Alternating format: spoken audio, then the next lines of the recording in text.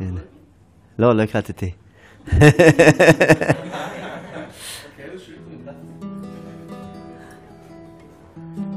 אפשר למצוא את המילים אה, של השיר בלב של העולם. אולי. אני מקווה. איזה זכות גדולה.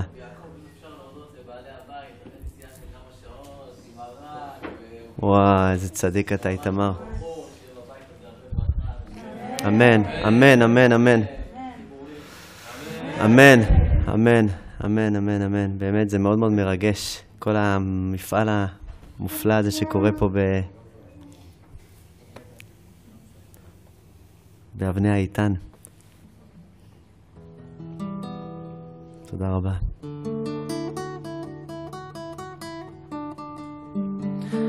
נקדיש את הלימוד לכל מי שצריך הקדשה.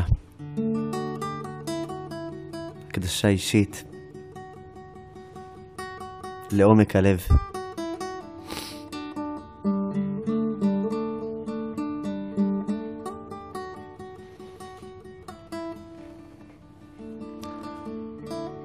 כל מי שצריך שיראו אותו.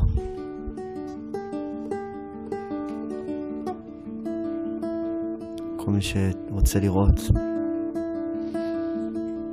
אולי אני אגביר קצת, נכון? יש עניין כזה, או שלא צריך? לא צריך? אה, שם מאחור מי שלא. טוב, נעמי מדד. ואני אדבר ככה אולי, זה כן, הנה. וגם uh, נקדיש את הלימוד. למשפחה היקרה, אולי אני מבקש מאיילה את השמות שלהם, אם זה בסדר?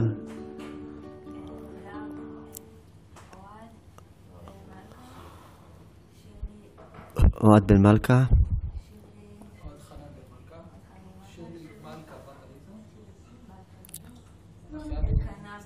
שיר- שירלי מלכה בת עליזה. אלקנה בן שירלי. רגע, זה לרפואה או לעילוי נשמת? לרפואה. רגע, אז מההתחלה. יש לי, יש לי את הכל בטלפון שלך, במספר שלך. הנה. הנה, הכל רשום אצלי פה. כן. הנה. לרפואה של בנימין בן שירלי מלכה, אלקנה בן שירלי מלכה, שירלי מלכה בת עליזה, ואוהב חנן בן... אה, אוהד חנן. אוהד חנן בן מלכה. אה, ולעילוי נשמת אורי בת שירלי מלכה, ורועי בן שירלי מלכה.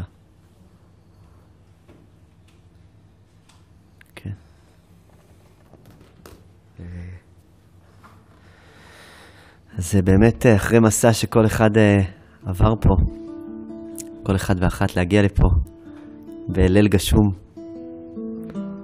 אה, בעצם, בעצם מה גורם, מה גורם לי להצליח להניע את עצמי, לשנע את עצמי, ל- בעצם לקצה השני של הארץ.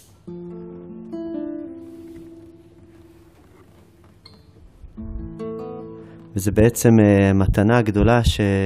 שיש לנו בתוך הלב שנקראת רצון. מתנה מאוד מאוד מאוד גדולה. הרצונות האלה הם, uh, הם מתנות מאוד מאוד, uh, מאוד משמעותיות. אלה כוחות גדולים שיש בתוכנו, ש... כשאני לא מוצא רצון, אז פתאום אני מתחיל לגלות את כל הביקורת שלי על עצמי. בואנה, איזה כבד אתה. בואנה, איזה עצלן אתה, אתה לא מצליח כל מיני מילים קשוחות כאלה. זה יכול להגיע אפילו עוד יותר נמוך מזה.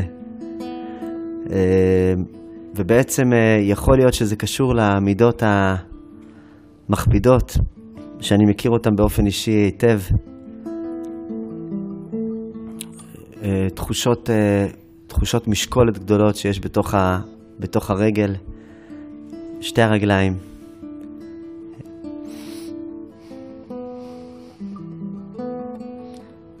אני זוכר את זאת מימי בית הספר. אם אני לא מרגיש טוב, אתה נראה בסדר גמור, אין לך חום. לא, זה נפשית. אי אפשר למדוד את זה. זה לא היה תופס. אנחנו לומדים לאט לאט לכפות את הרצון בגיל uh, מאוד מאוד צעיר, להיות גיבורים, ואחרי זה אנחנו, אחרי כמה שנים אנחנו אומרים, אה, אוי ויי, מה עשיתי? כפיתי אותו כל כך גדול שאני כבר לא מצליח לשמוע אותו. ואז אני מגלה מדי פעם מקומות שהם אה, הבזקים של רצון. אני מגלה אותם במקומות שאני, שיש חשקת הלב ללכת למקום מסוים. שיש חשק ללכת למקום מסוים.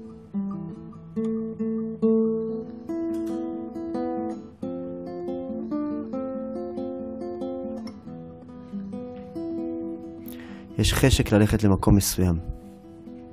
זה פלא גדול. ויש מקומות שאין לי חשק, שסגור לי לגמרי החשק, ושם אני מיד מנסה להילחם בזה, מנסה... ויש מקומות שאני נורא רוצה, אבל אני כבר לא סומך עליהם יותר. מקומות שבהם ה... הלב פשוט אה, לא מסכים לא מסכים יותר בעצם להיפתח שמה, להיות שמה.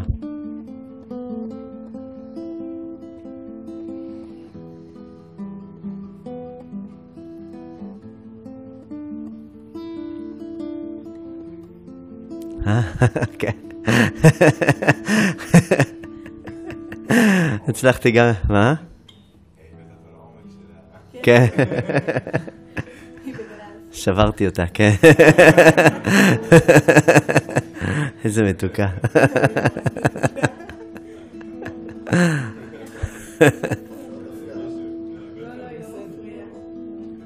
בסדר גמור, תודה רבה. לצדיק אתה גיא. פשוט מתיקות גדולה. בעצם המקום, המקום בעצם שאני, שאני מזהה, שאני מבקש בעצם להחזיר לעצמי את המעבר הבריא, המבורך, ש... אה, להתפרנס בצורה בריאה מול החיים.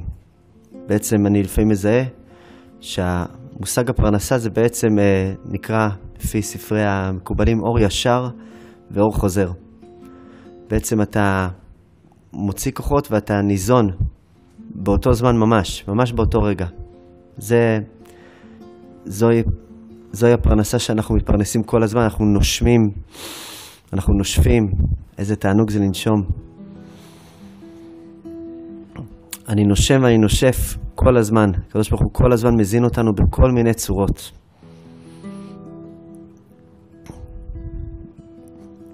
יש מקומות ש...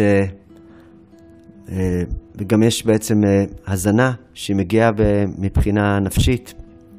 אתה מדבר עם בן אדם, הוא מעניין אותך, אתה מעניין אותו. זה ממש לנשום ולנשוף, זה תענוג. אתם נושמים ונושפים אחד את השני, מתפרנסים זה מזה. ככה זה, זה פלא גדול. ויש מציאות לפעמים שאתה אומר, יש פה משהו שהוא נסגר ברמת ההאזנה, ואני מרגיש שאני בעצם מתרוקן ממפגש מסוים. משהו שם נסגר. ויש לי בקשה גדולה שבעצם הדבר הזה הוא יסכים, אה, שאני אסכים להקשיב למקום הזה. למקום הזה שבעצם, אה, למקום הזה של ההאזנה. ההאזנות האלה לפעמים אתה מזהה, מזמינים אותך ל... למפגש מסוים, נקרא לצורך העניין שידוך, ואתה עושה את הפרצוף של... אה,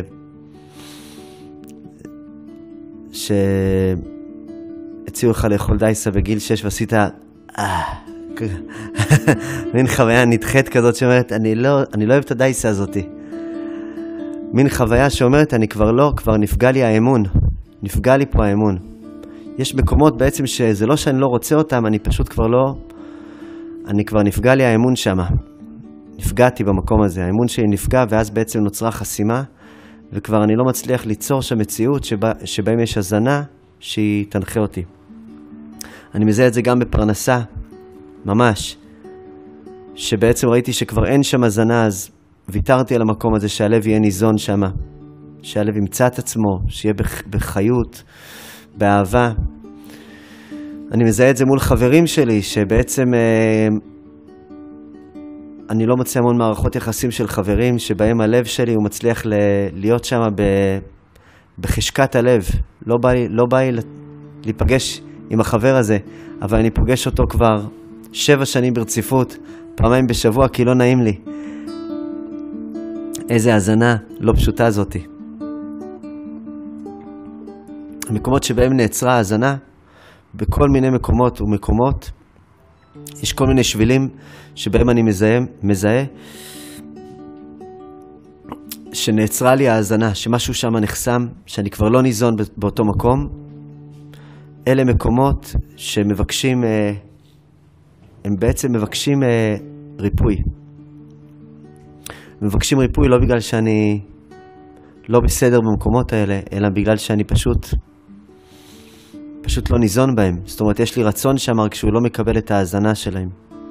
וזה בכל מיני, בכל מיני מפגשים, בכל מיני מערכות יחסים. אני יכול למצוא את זה באופן אישי מאוד מאוד חזק, אה, עם עולם הבירוקרטיה, שהוא אינו מזין אותי כלל וכלל. אני עושה אותו ממש עם אותו פרצוף של מי שהציעו לו דייסה, שפג תוקפה לפני חמש שנים, והוא לא רוצה לאכול אותה, אבל uh, בסוף הוא אוכל אותה, תרתי משמע. אני בעצם מזהה שיש שם איזה מקום של הזנה שנסגר, אין שם הזנה. פעם פגשתי בן אדם שהוא נהנה לקיים uh, בירוקרטיה, נהנה למלא טפסים, וראיתי את גודל החיות שהייתה לו כשהוא דיבר על זה אמרתי, וואו, וואו, זה מעורר השראה, איזה, איזה בן אדם. יש לו ממש הזנה כשהוא ממלא טפסים, הוא יודע למלא אותם בחיות נפלאה. אני פשוט לא ממלא אותם, כי באיזשהו שלב החלטתי לוותר על העניין הזה. זה לא מומלץ, דרך אגב, לעשות את זה. לא מומלץ לוותר על העניין הזה. לא אומר את זה כאידיאולוגיה, אלא כדבר שאני... אנחנו עובדים על זה, מה שנקרא.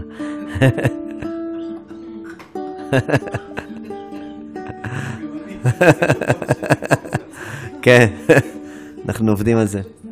רוצים לפתוח קבוצת וואטסאפ לאנשים שעובדים על זה. כן. ובעצם יש, אה, מה שיכול לעזור לי לרפא את המקום הזה, זה לעשות מהפכה. מהפכה זה תמיד דבר טוב. כן. והמהפכה הזאת זה בעצם לא אומר שאני צריך לצאת לרחובות אה, עם שלטים. המהפכה שאני מדבר עליה זה מהפכה שבלב. זאת אומרת שהלב שלי יסכים לעבור מהפך. מהפך זה בעצם להסכים לשנות את ההסתכלות שלי מהפך להפך.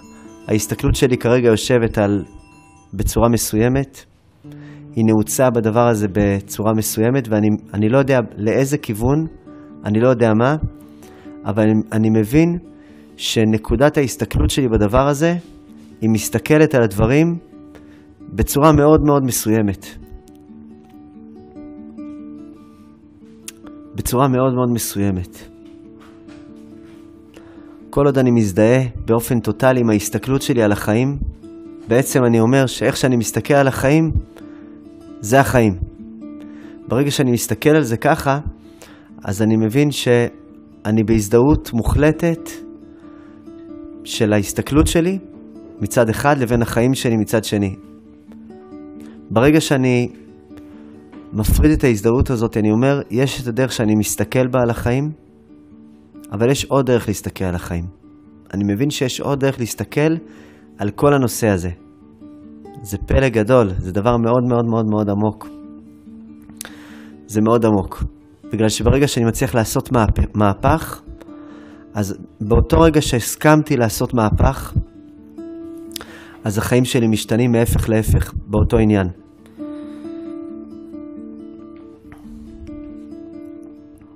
זה מעבר לנקודה של מה שקורה, מה שקורה אחרי זה זה כבר יהיה תוצאה, אבל זה בעצם קשור לצורת ההסתכלות שלי על הדבר הזה. יש סיפור מופלא ששמעתי, לא יודע אם אספר אותו טוב, אבל סליחה אם לא. מישהי שהגיעה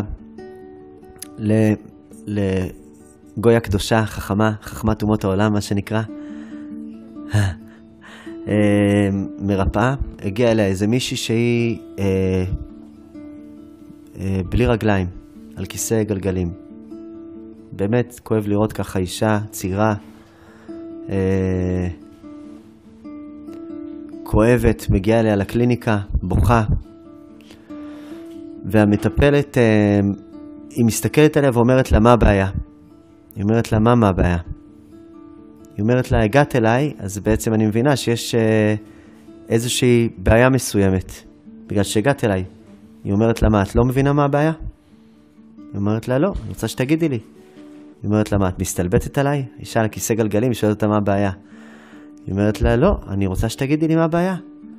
היא אומרת, את, uh, תקשיבי, אני לא... אני אגיד לך מה הבעיה, מתחילה כבר לבכות, לכעוס, להתעצבן. היא אומרת, הבעיה שאין לי רגליים. אז היא, היא שומעת את זה המטפלת, והיא מסתכלת, והיא אומרת, הבנתי. הבעיה היא שאת חושבת שאת צריכה רגליים. זה דיבור קשה מאוד. שלום עליכם. שלום עלייך, זו זכות. עכשיו, הדיבור הזה יכול להעלות לבן אדם את העצבים עוד יותר. ממש. אבל זה גם יכול לרפא אותו, תלוי מאיזה, מאיזה פה זה הגיע. כנראה שהמטפלת הזאת בעצמה הצליחה לעשות כזאת שינוי הסתכלות על החיים שלה בעניינים מסוימים, שהיא יכלה להרשות לעצמה להגיד את זה לעוד בן אדם. בעצם המחשבה הכפייתית שלי שאוכלת אותי על מה אני לא, היא לא נותנת לי בעצם לראות את המציאות כמו שהיא כיום. היא לא מאפשרת לי. היא סוגרת לי משהו מאוד מאוד מהותי. דיברנו על זה גם ביום שני, על ההבדל בין געגוע אה, מריר וכואב, בין געגוע בעצם שאני לא מצליח לקיים אותו, לבין היכולת שלי לפתח געגועים שהם, שהם מבורכים, שהם נוגעים בנקודה, שהם מרפאים אותי. זה מאוד מאוד דק. מתי אני מתגעגע נכון? מתי אני מתגעגע לא נכון?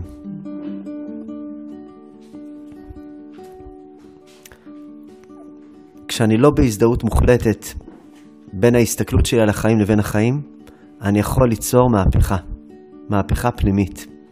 עיקר המהפכה היא בלב. כשהלב שלי מסכים להתהפך, זאת אומרת בצורה חיובית, לעבור היפוך, זה אומר שאני מוכן לעבור שינוי. כשהלב שלי לא מסכים עדיין לעבור היפוך, אני יכול ללמוד את כל הספרים שבעולם, אני יכול ללכת לכל המורים שבעולם, אני יכול לבקר את כל המטפלים שבעולם, אבל הלב שלי בעצם נעוץ במחשבה מאוד מאוד מסוימת, ומבחינת הלב שלי, כשאני בהזדהות של איך אני מסתכל על החיים לבין מה שהם החיים, ברגע ששני הדברים האלה הם בהזדהות מוחלטת, אני לא יכול לעבור שינוי. שינוי משמעותי של היפוך. להפך דבר מהפך להפך. רבי נחמן הוא מדבר על העניין הזה, שיש את הנקודה שנקראת מהפך להפך. חז"ל אומרים כל ההתחלות קשות. אז רבי נחמן הוא מסביר שכל ההתחלות קשות בגלל שאתה הלכת לכיוון מסוים, ועכשיו אתה נעצר ואתה צריך לכיוון השני. זה נקרא היפוך. זה היפוך וזה דבר מאוד מאוד קשה לעשות אותו. עכשיו, ההליכה הרצינית היא ההיפוך הנפשי שלי. אני, אני מהפך את צורת ההסתכלות שלי על החיים. זאת אומרת, אם אני רגיל להסתכל על החיים בצורה אחת, ואני קולט שהצורה הזאת שאני מסתכל על החיים היא מדהימה, אז אין לי שום עניין להפוך אותה. מצוין. לך בכוחך זה והושע את ישראל. אתה בכיוון. תענוג. אבל אם אני הולך ואני קולט, אה, הנה, עכשיו התחלנו, יש לנו את השיעור ביום שני. יש לנו כבר ארבעה שכנים שאני מופיע אצלם בלוח המטרה בבית שלהם עם חיצים. ויש uh, הילדים שנמצאים בחדר מחכים שהשיעור ייגמר. אז הבנתי בעצם מכל הסימנים האלה, אמרתי, טוב, יש פה איזה היפוך שצריך להיות. לקח לי זמן, אני קצת איטי לוקח לי זמן להתהפך. אבל, אה, אבל הבנתי שבעצם, כשהתחלנו להעביר את השיעור, אמרתי, זה המקום הכי מדהים שיכולתי להעביר בו את השיעור, בעין כרם. זה בטוח המקום שלנו. גיליתי שכנראה הגענו למקום מסוים שעכשיו צריך לשנות את המחשבה. כשהמציאות אומרת לי לש... שאני לא בכיוון, אני יכול לשמוע את זה, אני יכול לראות את זה, אני יכול לפגוש את זה רק אם אני אסכים. אם אני לא אסכים, אני אוכל גם לא. אני אוכל גם לא.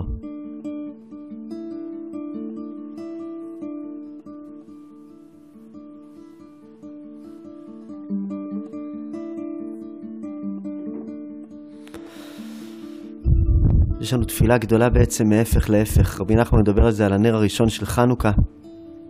שמדליקים אותו זה להפוך מחושך לאור. זה הדבר הכי קשה בעולם לעבור מהפך להפך. אחרי זה יש עבודה אחרת שגם עליה אני רוצה לדבר.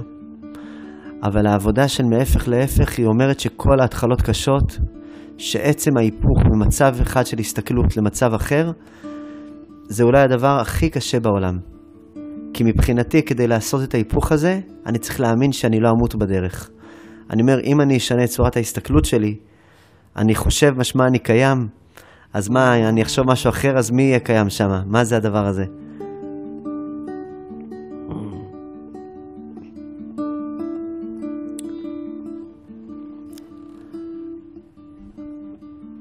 ההסכמה הגדולה שלי להסכים להפך את המחשבה שלי, להבין שהמחשבה שלי היא יכולה לחשוב אחרת ואני עדיין אהיה אני.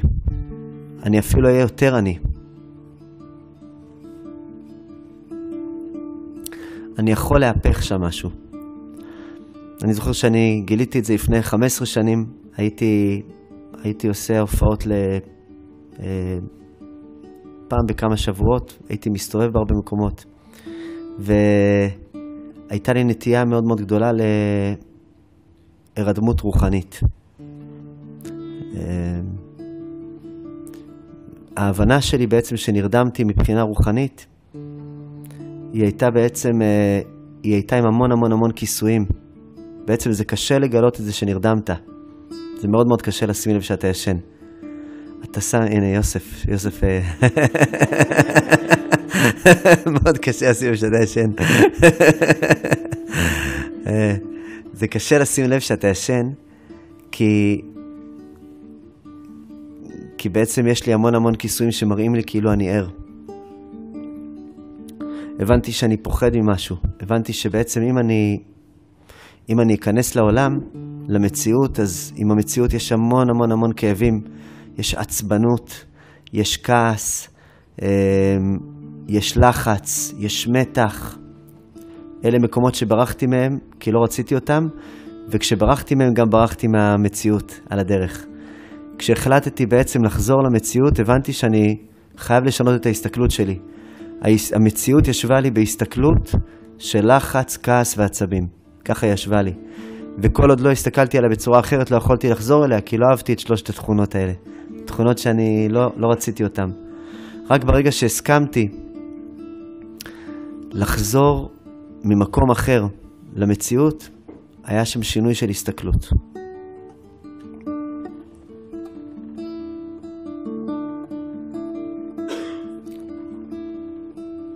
זה נקרא מהפך להפך. המעבר הזה בעצם שאני מסכים להפך משהו למשהו אחר, הוא דורש ממני המון המון המון תעצומות, וכל העולם מבקש ממני לעשות את המעבר הזה. ברגע שאני אסכים לעשות מעבר כזה, אני יודע שבאותו רגע תקרה מהפכה בחיים שלי. אבל אני חוזר על הדבר שאומר בעצם שמאוד מאוד קשה אה, לעשות את המהפך הזה, וגם קשה לדעת במה אני צריך לעשות את המהפך הזה. בן אדם מבחוץ לא יכול להגיד לך מה אתה צריך לעשות את המהפך. הוא יכול להמליץ לך, אולי הוא יהיה צודק, אולי הוא יטעה, אבל אתה יכול בכנות של הלב שלך לגלות. למדנו שבזוהר, למדנו בזוהר שהקדוש ברוך הוא בעצם ברא את, ה, את הפרצוף בצורה כזאת נפלאה, שמכל האיברים, מכל האיברים בעצם בחלל הפנים, חוץ מהפה, הוא ברא אותם אה, זוגיים. הפה בסוף הוא עוקד את כל, ה, את כל הידע הזה והוא מוציא אותו. או מכניס אותו. הוא ברא לי שני אוזניים, שני עיניים, שתי עיניים, שתי עיניים, עין אחת, שתי עיניים. נכון. מישהו אמר לי שאם תגיד שני זה תמיד נראה טוב. אז זה לא משנה, אם אתה לא סגור על זה. שתי אוזניים, שתי עיניים,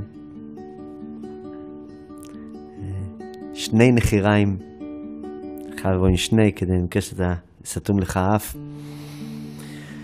אוזן אחת נמצאת פה, האוזן השנייה נמצאת בקצה השני, ויש פנים שלמות שמסתירים באמצע. למה זה? כדי שאם אתה שומע מוזיקה ושמים לך סטריאו, אתה יכול לשמוע מהרמקול הזה, ומהצד שני אתה יכול לשמוע מהרמקול הזה, וזה שיהיה לך יותר תענוג. זה תענוג, הקדוש ברוך הוא עשה לנו אוזניים. אני לא שם לב לזה אם אני כהה, אם אני לא מקשיב בהקשבה בעצם שמדייקת את עצמה, זה נשמע לי שאני שומע משהו אחד, אבל בעצם אני שומע מהאוזן הזאת משהו אחד, מהאוזן הזאת משהו אחר לגמרי. יש לנו את העיניים הנפלאות. בזוהר הוא אומר שיש אצבע מפרידה בין שתי העיניים שנקראת האף. כל אחד והאף היהודי שלו, מה שנקרא. ועין אחת רואה משהו אחד, עין שנייה רואה משהו אחר, וזה נראה לי שאני רואה תמונה אחת, אבל אני לא רואה תמונה אחת, אני מסתכל על, על, על דבר אחד משתי זוויות. ממש ככה. את זה אני מגלה בעיקר כשאני הולך לבדיקת עיניים, אומרים לי לעצום את העין הזאתי, לפתוח את זאתי, לעצום את זאתי. עכשיו איך אתה רואה, מבלבלת לגמרי האישה שעושה את זה בדרך כלל. אתה אומר, נראה לי, נראה לי עבדתי עליה, אבל כבר זהו מאוחר מדי, שמו לך משקפיים עם מספר. ואתה מבין שאתה רואה את הדברים בשתי עיניים בצורה שונה לגמרי, עין ימין ועין שמאל. אתה אפילו מריח בשתי נחיריים, ויש לך איזה מסך במרכז האף שחוצץ בין הנחיר הימני לבין הנחיר השמאלי. הפער הגדול הוא בין האוזניים, הפער הקטן יותר בין העיניים, והפער הקטן ביותר, שהוא דורש ממש דקות כדי להבדיל מה היה בין נחיר ימין לבין נחיר שמאל, זה, ה... זה ה... יכולת הערכה. ככל שאני יותר מדייק את ההקשבה שלי, את הראייה שלי, את ההערכה שלי, אז אני יכול יותר, אני יכול יותר להיות ב... ב... לא בצורה מזדהה, עם מה שאני רואה, אלא בצורה לומדת. אני בעצם מבין שראיתי את הדברים בעין שמאל. מאוד מאוד הייתי ביקורתי שמה. אבל בואו ננסה רגע לראות אותם בעין ימין. שמעתי את הדברים באוזן ימין, הייתי ממש uh, עם נטייה לשמוע את הדברים, uh, ממש רציתי את מה שאני רוצה לשמוע, שמעתי. שמעתי את כל מה שאני רוצה לשמוע. יופי, יופי, יופי, יופי, ולא שמעתי את כל מה שאני לא רוצה לשמוע. אוקיי, בוא נשמע עכשיו באוזן שמאל את מה שהבן אדם אמר לי. אה, הבנתי. זה נשמע טוב.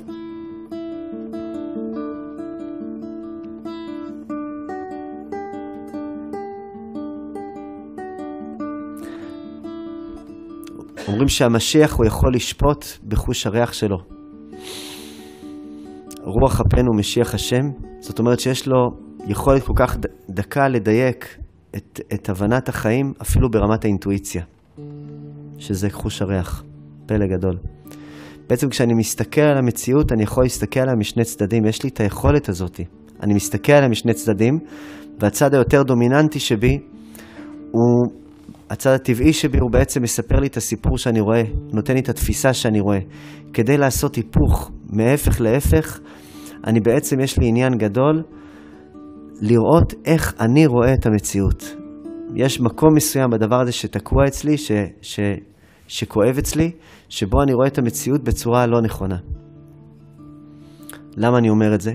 כיוון שדבר שהוא תקוע אצלי, זה לא משהו שהוא תקוע חברתית, זה לא משהו שהוא תקוע משפחתית, זה משהו שתקוע אצלי. זאת אומרת שבחוויה שלי, אני חי שם לא נכון.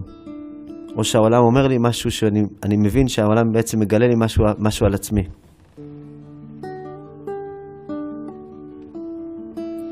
ההיפוך הזה זה בעצם מה שמאפשר לי להיפרד מהדרך שהסתכלתי על החיים ולשאול את עצמי איך אני מסתכל על, על אותו דבר עכשיו בצורה שהיא תקדם אותי, שהיא תצמיח אותי, שהיא תגדיל אותי. זה נקרא בעצם היפוך.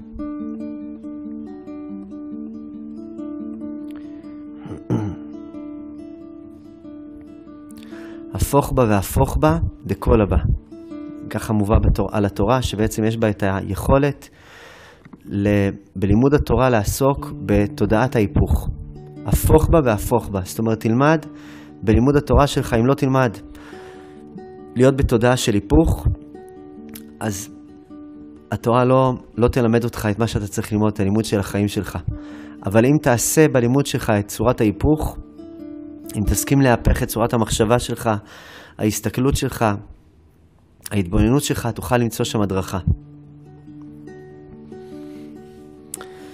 הקדוש ברוך הוא בעצם, הוא השכין, אחרי שאדם וחווה גורשו מגן עדן, הוא השכין בכניסה לאגן את להט החרב המתהפכת. כשאני בעצם לא לומד את חוכמת ההיפוך, אז אני גם יכול למצוא את עצמי מתהפך מצד לצד, ממקום למקום בצורה לא מודעת. זה להט החרב המתהפכת. להט החרב המתהפכת היא בעצם לא מאפשרת לי להיות מרוכז בצורה שהיא מרפאה. תודה רבה, עשה צדיקה את מירב, נשמה. תודה רבה, השם ישמור אותך. היא לא מאפשרת לי בעצם... תודה רבה, חיים לחיים. תודה רבה. חיים לחיים. להט החרב המתהפכת היא בעצם בעצם העוצמה שאני יכול להפך משהו מהפך להפך ואני לא עושה את זה, היא יוצרת אצלי היפוך לא רצוני. היפוך לא, לא רצוני זה שאני בוחר בחירה ואני מתהפך, מתהפך על עצמי. והבן אדם שלי אומר, תקשיב, אתה לא עקבי, אתה לא רציני, אתה לא מתמיד, אתה לא, אתה לא, אתה לא, אתה לא, אתה לא. ואני אומר, תקשיב, אני, אני, אני לא רואה את עצמי שאני לא בן אדם רציני, שאני לא בן אדם מתמיד, אני בן אדם מתמיד, פשוט יש פה משהו שאני לא מצליח להפך אותו, נכון, אז זה מתהפך לי כל הזמן בבחירות שלי, כי יש משהו שורשי שעוד לא הפכתי. בעצם הדבר שעוד לא הפכתי, הוא עצמו הופך אותי, כל הזמן. הוא הופך אותי לחלוטין, כי אני עוד לא הפכתי אותו. עוד לא הפכתי אותו, אז הוא הופך אותי. זה מין דבר כזה. כתוב על יצחק ועל רבקה, שכשהם היו צריכים, כשהם אה, רצו ללדת, היה להם בעיה שלא אה, לא היו להם ילדים. ויעתר יצחק, לנוכח אשתו. יצחק הוא נעתר, כתוב מה, מה זה, מה אתר זה. אתר זה בעצם היכולת להפך את, ה, את האדמה. להפך את האדמה. יצחק יש לו את היכולת לה, להפך את האדמה. להפך את השורשים. אשתי גם אמרה לי על העניין הזה של, שבנטיעות, לקראת ט"ו בשבט, שבעצם, האמת שאין קשר בין ט"ו בשבט לבין נטיעות, אבל בפועל אנחנו עושים את הקשר הזה. אנחנו נוטעים תמיד עצים בט"ו בשבט, אפילו שט"ו בשבט הוא חג לפירות האילן, אבל ב... כשאני רוצה לטוע עץ, אז אני צריך בעצם להפך את האדמה. כשאני רוצה לטוע רעיון חדש בלב שלי, אני צריך להתחיל להפך שם את העניינים. ההיפוך זה בעצם דבר מאוד מאוד מאוד גדול. כשאני מצליח להפך משהו מהפך להפך, אז זה בעצם הקץ לזה שהוא יהפוך אותי. כשאני מתהפך ממצב למצב, זה אומר שיש פה משהו שורשי שלא ביררתי, והוא פשוט הופך אותי. וההיפוך הזה הוא אחד משני השומרים שאני לא אכנס לגן עדן. כי בעצם מעבר ללהט החרב המתהפכת, אם אני אצליח בעצם אה, לרפא אותה, את להט החרב המתהפכת, אז יכול להיות שאני אוכל להאמין בגן עדן.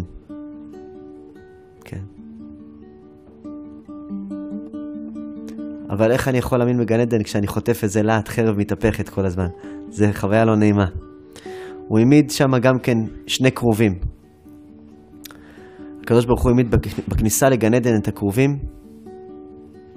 Uh, הכרובים, חז"ל אומרים, אלה מלאכי חבלה. זה גם כן שני הדברים שמסתירים את, ה...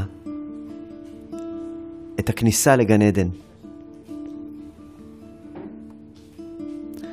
את הכניסה לגן עדן גם מסתירים מלאכי חבלה.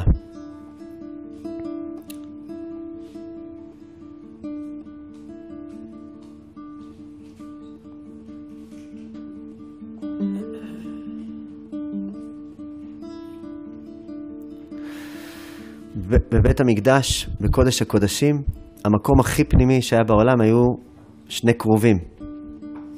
בגן עדן, מחוץ לכניסה, היו גם כן כרובים. רק פה הם נקראים מלאכי חבלה, ופה הם נקראים קודש קודשים. איך זה יכול להיות? אומרים שהכרובים, כרוב, פירוש המילה כרוב זה ילד, קרביה.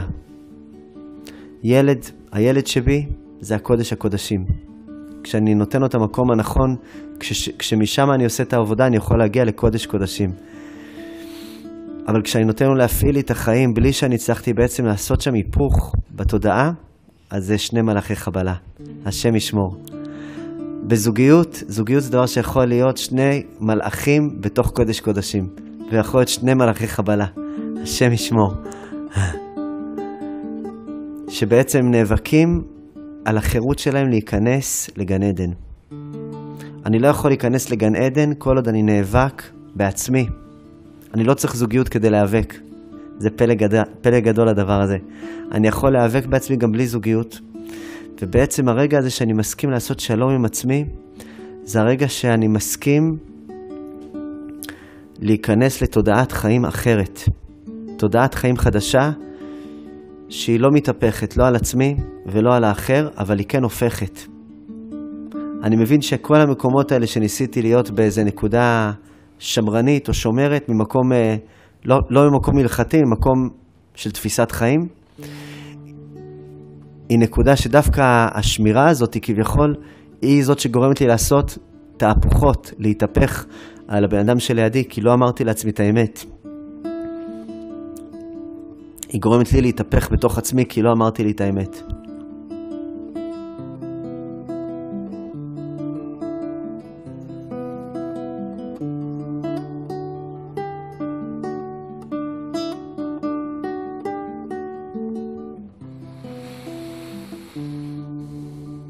אז יש היפוך ויש את הצד השני שזה נקרא התנערות. דבר שהצלחתי להפוך, אז אני אצטרך אחרי זה לנער אותו כל כמה זמן. כמו איזה שטיח טוב. לנער זה בעצם להחזיר אותו למקום הנערי. הנרות האחרים של חנוכה, הנר השני, השלישי, הרביעי, החמישי, הם נרות של, של התנערות. הנר הראשון הוא נר של היפוך, והנרות האחרים הם נרות של התנערות. הצעד הראשון שלי בעצם שמצליח להפוך מצד אחד לצד השני, זה הצעדים המשמעותיים בחיים שלי. ואחרי זה יש לי עניין גדול ליצור מציאות של התנערות. להצליח לנער, לנער, לנער. כל הזמן לעבוד על נקודת הנער. נקודת הנערה. הנקודה הנערית שבי. אני, בעצם כשאני מגלה שהתאכזבתי מהרצונות שלי, התאכזבתי מהתפיסה שלי, אני מגלה שיש שם שני מקומות שאני מבקש. אחד זה מקום של היפוך, והשני זה מקום של ניעור. אני מנער לא באלימות, אני מנער בנערות. אני מתחיל לחזור למקום הזה בצורה נערית. שיש שם מקום רענן, מקום שהוא מס, מסכים לפגוש את המציאות, מסכים להיות שם, מסכים לקבל משהו חדש. בזוהר הוא קורא ל... ליצר הרע מלך, זקן וכסיל. הדיבור בתוכי שכבר יודע הכל, שכבר שמע הכל, שכבר מבין הכל, המקום הזקן הזה, זה המקום שהוא בעצם עושה לי רע. הוא עושה לי לא טוב עם החיים שלי, הוא לא מאפשר לי בעצם להיות בשינוי משמעותי. המקום הזה שהתעייף, הוא מאוד מאוד מאוד צודק, הוא התעייף כי הוא הולך כבר שנים בדרך שאין בה התפתחות. המקום הזה בתוכי שמסכים לעשות היפוך מהפך להפך, זה החלק בתוכי שיכול לעבור שינוי תודעה משמעותי. עד שאני לא אגע בו, אני יכול ללמוד את כל הספרים שבעולם, אני יכול להיות בכל ההרצאות שבעולם, אבל אני לא אצליח ליצור מהפכה.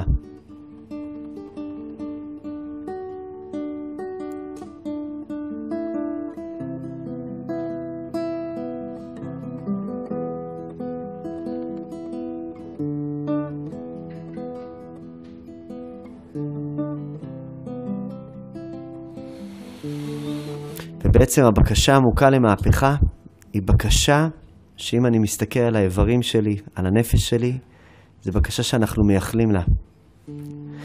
כשאני מזהה שאני מפהק את החיים, אני אומר, יש פה בקשה עמוקה למהפכה. למהפכה. להיפוך.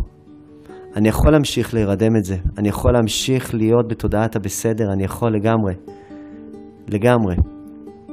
אבל אני כבר לא רוצה לבחור בזה יותר.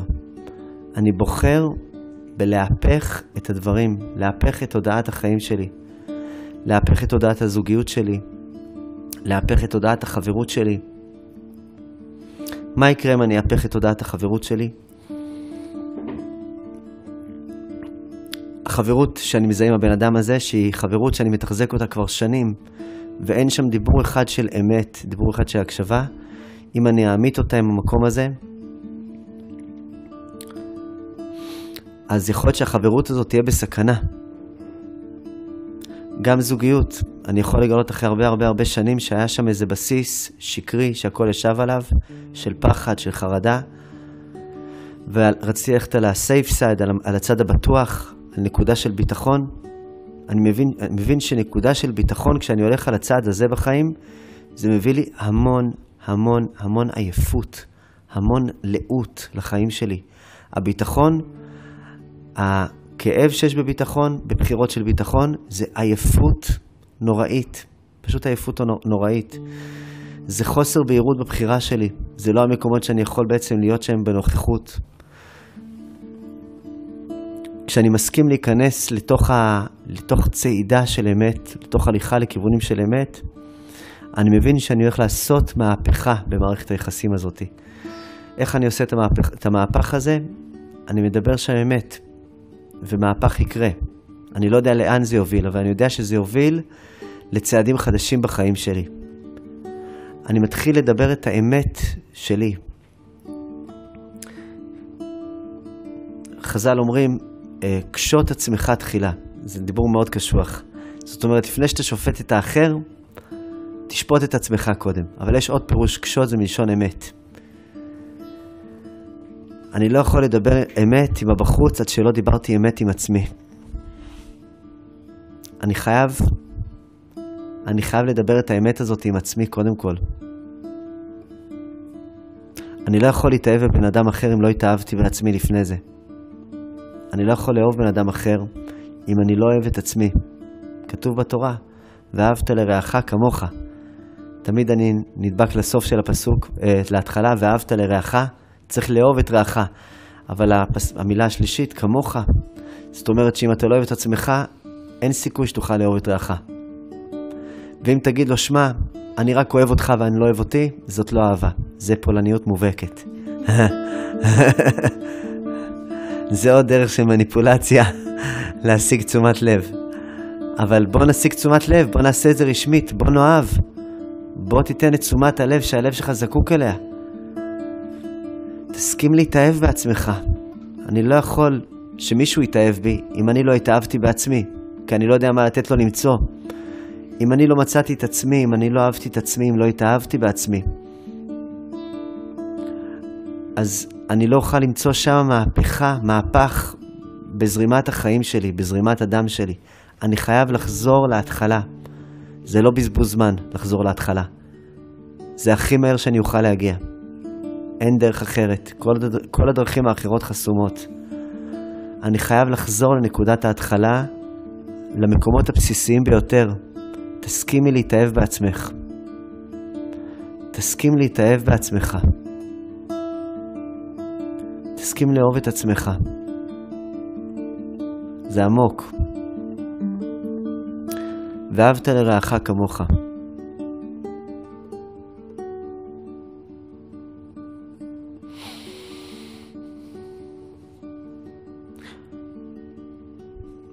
מה ששנוא עליך לחברך לא תעשה. זה גם כן גרסה.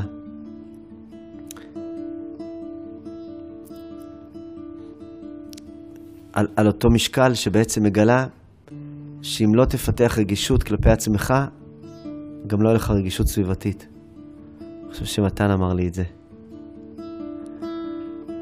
אם אני לא מפתח רגישות כלפי עצמי, אני גם לא יכול להיות רגיש לאחר. זה מין דבר כזה מוזר. אני נורא רוצה להיות רגיש לאחר, אבל העברתי יותר מדי זקנות שלא רצו לעבור את הכביש הזה. אני לא יודע איך להיות רגיש בצורה נכונה, כי אני לא רגיש לעצמי. אם אני אלמד להיות רגיש לעצמי, אז אני אוכל לתרגם את הרגישות של האחר בצורה אחרת. זה מהפך. זה מהפך, ואני בעצם מבין שכשיש לי משהו שהוא סגור, זה אומר שצריך פה מהפך וצריך פה התנערות. אני מתנער מכל אחריות, לחלוטין. באופן מוחלט. זה מאוד לא אחראי להתנער מאחריות, אבל זה מאוד נערי. האחריות הזאת שלקחתי על עצמי, כל האחריות הזאת, לקחתי את האחריות על סבתא שלי מצד אימא, סבתא שלי מצד אבא, הדוד שראה אותי פעם אחת בחיים, עוד מישהו אמר לי משהו ברחוב, אמרתי, חיללתי את שם השם. אני לוקח אחריות על כל ההרגשות של כל העולם, אני מבין שאין פה התנערות. אין פה התנערות לכיוון השינוי. כל העולם לא ייתן לי לעשות את המהפך הזה, כל עוד אני לא מסכים לחזור להיות קצת נער בתוך ההיפוך הזה. להסכים להיות נער. רגע אחד אני עושה reset לכל מה שהייתי רגיל לאחוז בו, להחזיק אותו. אני מבין שיש הרבה הרבה הרבה הרבה דברים שהסתדרו, באמת הרבה דברים שהסתדרו, ואני מסיר מעצמי לא עודף אחריות, אלא אחריות לא נכונה. אין כזה דבר עודף אחריות. זה לא קיים. יש אחריות לא נכונה. אחריות לא נכונה זה שאני דואג בדיוק לדברים הלא רלוונטיים. אני לוקח מלא מלא אחריות על הדברים הלא רלוונטיים. ואז בעצם אני לא לוקח אחריות על מה שאני בעצם צריך לקחת אחריות, על להתנער. אז אני צריך לקחת אחריות איך אני מתנער כל בוקר מחדש. איך אני חוזר להיות נער ולא בעצם צברתי איזה גוש של עפר שיושב לי על הראש. התנערי מעפר קומי. לבשי בגדי תפארתך, איזה מתיקות נפלאה. איזה, איזה שירה נפלאה, רבי שלמה אלקבץ. כל שבת אנחנו שרים. מזכיר לשכינה להתנער, לא לקחת אחריות יתר. מכל העפר הזה, אחריות שהיא בעצם לא, לא נכונה, לא מדויקת, לא מכוונת, וללבוש את הלבושים הנכונים שלך, לבושים של פאר.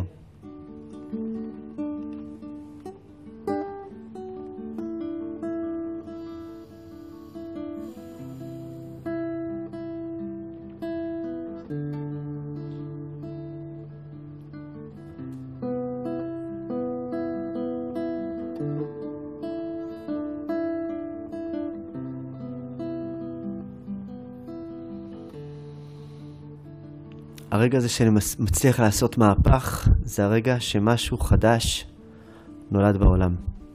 אספר לכם איזה מעשה. אה, מעשה שאני אוהב לספר אותו, האמת, ואני אספר אותו, יכול להיות שאפילו חלק כבר שמעו אותו כבר איזה שש-שבע פעמים. מקווה שלא. הבעל שם טוב הקדוש, יש לו כמה מהסיפורים איך, אה, איך הוא יצר אה, התקרבות לתלמידים שלו, היה לו שיטה מאוד מאוד מיוחדת. בניגוד למגיד ממזריץ', המגיד ממזריץ' הוא היה, הוא גם היה איש חולה, פיזית, הוא היה עם נכות. וכל התלמידים באו למזריץ' ללמוד אצלו. הבעל שם טוב הוא היה מסתובב מעיירה לעיירה מלמד. והוא אסף תלמידים. היו לו כמה תלמידים שהוא סימן אותם, הוא קלט שהם מוכשרים לקבל את תורת החסידות. בכללי תורת החסידות היא הביאה איתה מהפך, הייתי שבוע שעבר אצל יהודי מאוד מאוד מיוחד, שגר בעין כרם, היום הוא כבר, אה, אה, הוא ביקש שלא להתפלל לרפואתו. אה, רבי יהודה בן חנה, חולה מאוד מאוד, ביקש לרחמים עליונים. ביקש לא להזכיר את שמו בשבת, הוא כבר ממש בגדר של נשמה. אדם כבר בגדר של נשמה. והוא אמר לי, ישבתי לידו, הוא חסיד חב"ד, אמר לי באנגלית, אמר לי, אתה יודע מה הבעל שם טוב הביא? הבעל שם טוב, הוא הביא רבולוז'ן. זה כל כך הקסים אותי, המילה הזאת. איזה מתיקות, איזה דיבור. בן אדם שוכב על המיטה בבית החולים, אומרים לו, זהו, אתה בגדר נשמה, הוא אומר לי, והוא מדבר איתי על הבעל שם טוב, הוא אומר לי, זה בעל שם טוב, he brought with him the revolution. איזה מתיקות, איזה פלא, איזה מתיקות. אז אני, אני מרגיש שהדיבור שלו כבר דיבור שהוא, הוא כבר דיבור שהוא בעצם מנחה אותנו. בעל שם טוב איתו, הביא איתו מהפכה. החסידות הביאה את המהפכה. זה שיצא מזה אחרי זה חסידים זה בלי קשר. אבל החסידות עצמה, בעל שם טוב וה, והתלמידים שלו המקורבים, הקרובים אליו, הם הביאו בעצם נקודה של היפוך, זה מה שהם הביאו לעולם, פלא גדול, בשם רבי יהודה. שהקדוש ברוך הוא ישלח לו רחמים עליונים. אז הבעל שם טוב היה אוסף את התלמידים שלו בפינצטה. הוא הגיע אל... אה, היה לו תלמיד אחד שהוא עוד לא היה תלמיד שלו, היה תלמיד חכם. רבי יחיאל מיכאל מזלוטשוב, אחלה שם. יחיאל מיכאל מזלוטשוב. הוא היה תלמיד חכם בפני עצמו והוא לא רוצה להתקרב לבעל שם טוב. אבל הבעל שם טוב היה ממש בעניין לתפוס אותו. יום אחד רבי יחיאל מיכאל נמצא עם המשרת שלו בלב היער, ו, אמ, והבעל שם טוב סגר לו את היער. הלך לאיבוד שם עם המשרת שלו, המשרת שלו אמר לו, הלכנו לאיבוד. הוא אומר לו, עוד מעט נצא, הלכנו לאיבוד, עוד מעט נצא. הבעל שם טוב פתאום הופיע שם, אומר לו, שמע, אני מבין שהלכתם לאיבוד. רבי יחיאל מיכאל אומר לא, לא, לא, הכל בסדר. המשרת אומר, כן, הלכנו לאיבוד. אומר לו, הבעל שם טוב, בסדר, אז אני יכול, אה, אין לי בעיה. אני יכול לבקש משר היער שיפתח לכם את היער, אין שום בעיה. אומר לו, לא תודה, זה בסדר. אומר לו, אתם צריכים לצאת. אומר לו, אבא שלי לימד אותי גם איך אה, בזכות שר היער, הקדוש ברוך הוא שולח את המלאכים שלו, ואני גם יכול לפתוח את, ה, את היער הזה. פתח את היער עם שר היער, ויצא מהיער, והבעל שם, שם טוב נשאר שם לבד להתפלל. הגיע רבי יחיאל מיכאל לאכסניה הקרובה, בעל האכסניה אהב מאוד אה, רבים כאלה מיוחדים. זה היה את רבי יחיאל מיכאל. אמר לו, שמע, אתה רבי מיוחד, יש לי חדר בשבילך, אני מארח אותך עליי. שם אותו בחדר כל היום, מעלה לו דברים, אוכל, שתייה, הכל. הוא יושב שם בחדר. אה, עוברות כמה שעות, מגיע הבעל שם טוב, אומר עוד רבי מיוחד. טוב, גם לך אני אביא חדר, רק אני מזהיר אותך, אין לי עוד חדר, החדר היחיד שאני שם אותך, אני, אני אצטרך לעבור דרכך כדי להיכנס לרבי שנמצא בחדר הפנימי יותר. אומר לו, מה, תצטרך לעבור דרך החדר שלי? כן, מצטער. אומר לו, אין בעיה, זה בסדר. הוא יושב בחדר הזה, הבעל שם טוב, ורבי יחיאל מכיל בחדר הפנימי, והבעל האכסניה כל הזמן עובר בין, ליד החדר של הבעל שם טוב. מגיע הלילה ואשתו של בעל האכסניה, היא, יש לה צירי לידה, ממש מקשה לילד, והרופאים מגיעים, לא מצליחים לעזור לה, אומרים נואש, ופנה בעל האכסניה, לרבי יחיאל מיכאל, אומר לו הרב, תביאו את, היולד, את היולדת אליי לחדר, תבואו איתה, ואני אעשה פה תפילה מיוחדת. מביאים אותה ככה עם המיטה, עוברים דרך החדר של בעל האכסניה וכמה עוזרים. היא מסכנה שוכבת במיטה שמה. עוברים דרך החדר של הבעל שם טוב, אומר, לאיפה, לאיפה זה? אומרים לו, לחדר של הרבי, בפנים. אומר, מה, הוא אמר שהוא התפלל עליה? אומרים לו, כן. אומר לו הבעל שם טוב אה, לבעל האכסניה, שמע, תגיד לרבי שבפנים, ש... הרבי שבחוץ אמר שעדיף שהיולדת תהיה בחדר הזה ואני אתפלל פה. כיוון שבכל זאת, אה, כשאני מתפלל, אז אני מכוון את ליבי עמוק עמוק לשמיים. טוב. אומר לו, שמע, אשתי צריכה ללדת. אומר לו, כן, הבנתי, רק תגיד לו את זה ו... והכל יהיה בסדר. אומר לו, טוב, נכנס לחדר, בא לחדר של רבי יחיאל מיכאל, אומר לו, שמע, הרבי שבחוץ אומר שעדיף שנתפלל שמה, כי הוא פשוט ממש בעל תפילה. אומר לו, תגיד לרבי שבחוץ, שגם אני בעל תפילה והכל בסדר. אומר לו, שמע, אשתי צריכה ללדת פשוט, אני ממש בעניין פה שהסתבכתי. אומר לו, לא, לא, תגיד לו את זה וזה יהיה בסדר. מגיע לבעל שם טוב, אומר לו, שמע, הרבי שבפנים אמר שגם הוא בעל תפילה גדול.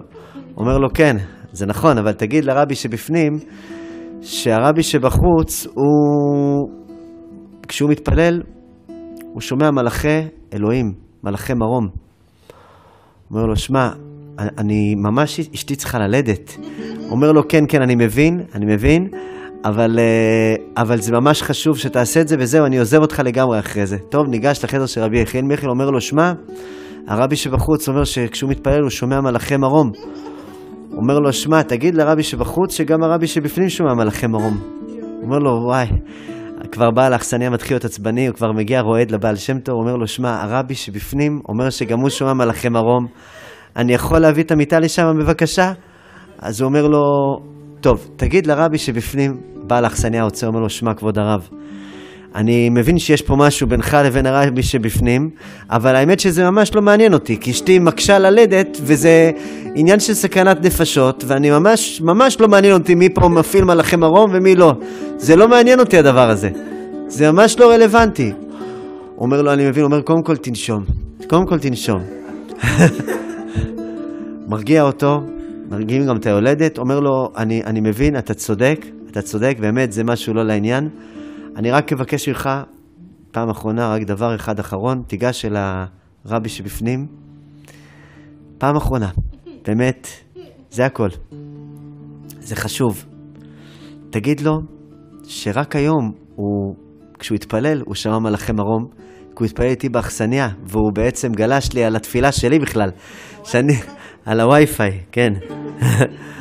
ואני בעצם אה, כל יום שומע מלאכי מרום. הוא בעצם היום פעם ראשונה שהוא טעם טעם של מלאכי מרום, אבל זה היה מלאכי מרום שלי, מלאכי המרום שלי.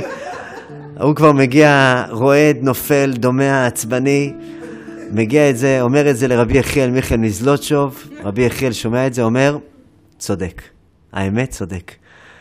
ירד מהמיטה, נכנס לחדר של הבעל שם טוב, והיולדת באותו הרגע שהם לחצו ידיים, ילדה בשעה טובה. פלא גדול, פלא גדול, פלא גדל. אל תנסו את זה בבית, חברים יקרים. כן, נראה לי שבעלה כבר, כבר היה במצב לא טוב, מסכן. מסכן. המקום הזה שאני בעצם מבין שיש פה איזה היפוך משמעותי לעבור בשביל שדבר חדש ייוולד, זה מקום שהוא רפואה מאוד מאוד מאוד מאוד מאוד מאוד גדולה. לפעמים אתה מתחתן עם בן אדם שהוא ההיפוך שלך. למה בן אדם עושה את זה? כי יש לו בקשה פנימית להתהפך. אמנם זו בקשה כל כך פנימית שאני נאבק בה כל הזמן, אבל אם אני אסכים בעצם לקבל אותה, אני אסכים לתת לו לרפא אותי ולהפך אותי.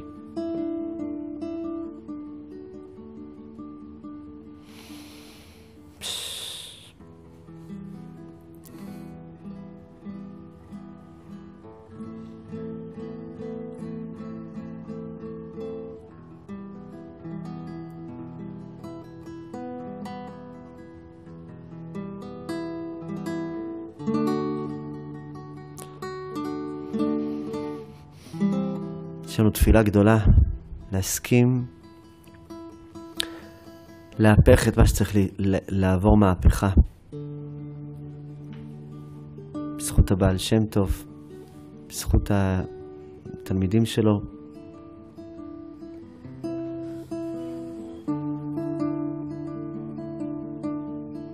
היא שלום בחיר דרך שלווה בארמנות העיר. היא שלום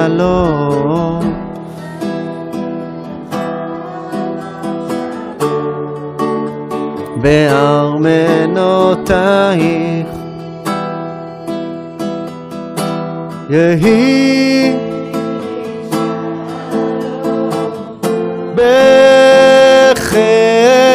בחילך שלווה בארמנותייך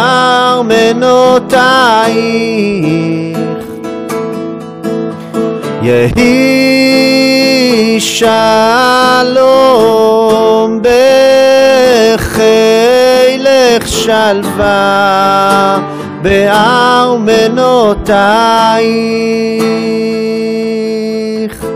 יהי שלום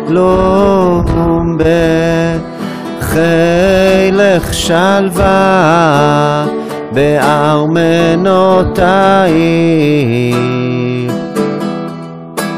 יהי שלום בחילך שלווה בארמנותייך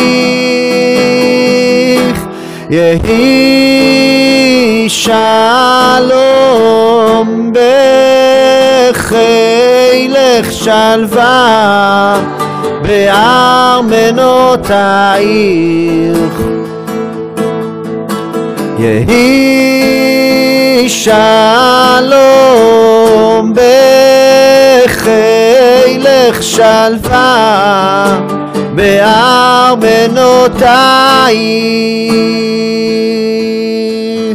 יהי שלום בחילך שלווה בארמנותייך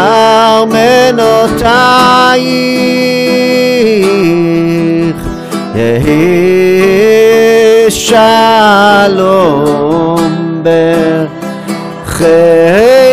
שלווה בארמנותייך יהי שלום בחילך שלווה בארמנותייך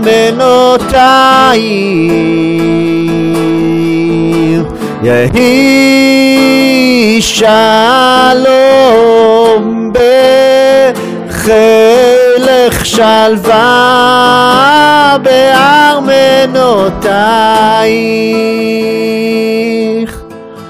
יהי שלום בחילך שלווה בארמנותייך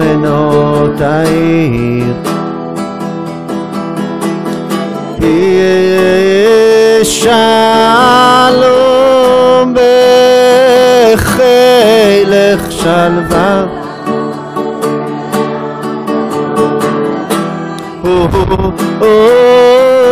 יהי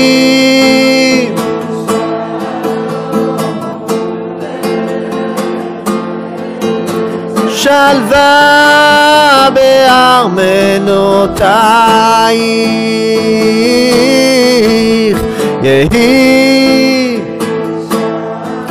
שלום בחילך שלווה בארמנותייך